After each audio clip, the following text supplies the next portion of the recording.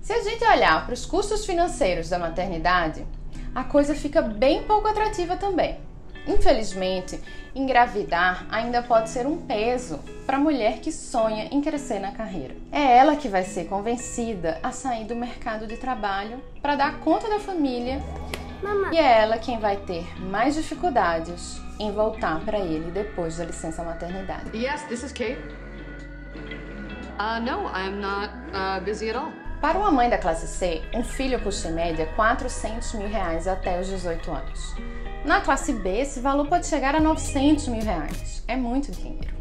E ó, considerando que 65 pais são presos por dia por deixar de pagar a pensão alimentícia, tu já sabe em qual endereço esse boleto vai chegar, né? Dá até para entender aquela mulher que compra bolo quando o teste de gravidez dá negativo. Quem nunca ficou feliz quando a menstruação atrasada finalmente chegou?